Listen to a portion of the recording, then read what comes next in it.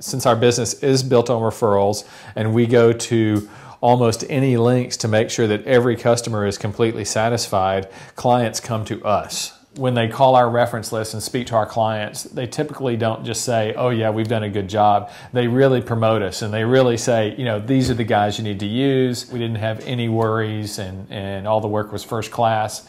And, uh, and, and we still come back and work for them. So many of our clients, we build their homes or remodel their homes, and then we help them maintain their homes through the years with our repair and maintenance division. So we have many, many repeat clients. And by doing that, it allows us to prove ourselves to them over and over again and really establish a relationship with them. You go to Miss Smith's house and you're going to put crown molding up. Well, Miss Smith really doesn't know anything about how crown molding should be done. But Miss Smith does notice if you're neat and clean and your appearance is good, if you protect the environment you're working in, how neat your truck is kept. And if she sees those things, her mind is put at ease. She is much more at ease about allowing us to work in her home, unencumbered by her having to be there or feeling uneasy about strangers being in the home. And so that's, that's been really helpful.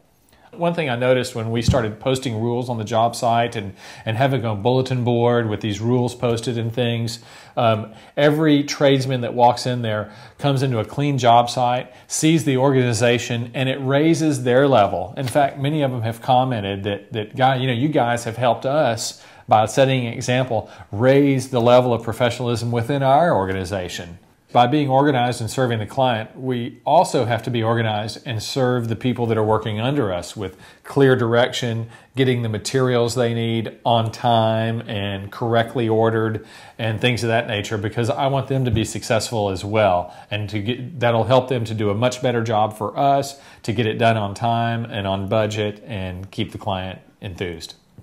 I faced a really difficult transition when I went from being the man that supervised every project that was going on to being able to delegate that role to other project managers. It allowed me to look at the big picture. And we developed procedure list for every different phase of the construction project. We have about 23 different procedure lists.